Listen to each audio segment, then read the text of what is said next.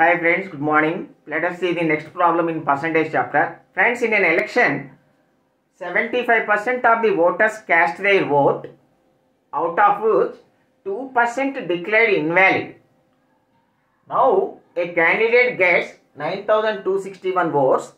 This 9261 is equal to 75% of the valid votes. Then find the number of voters enrolled. See, number of voters enrolled, say X.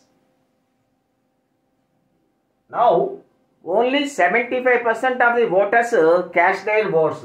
So, number of polled votes, number of polled votes, 75%.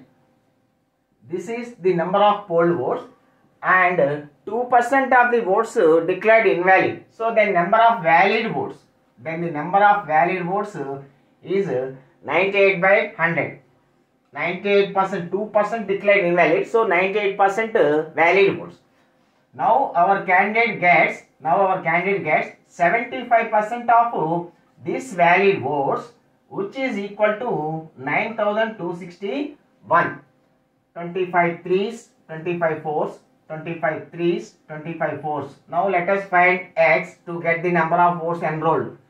9261 9261 into 4 into 4 into 100 1600 by 3 into 3 9 into 98 9 ones 9 tens 90 90 26 9 twos 18 81 9 nines 81 49 twos 49 twos 49 twos 98 49 49 ones two ones, two eight hundreds.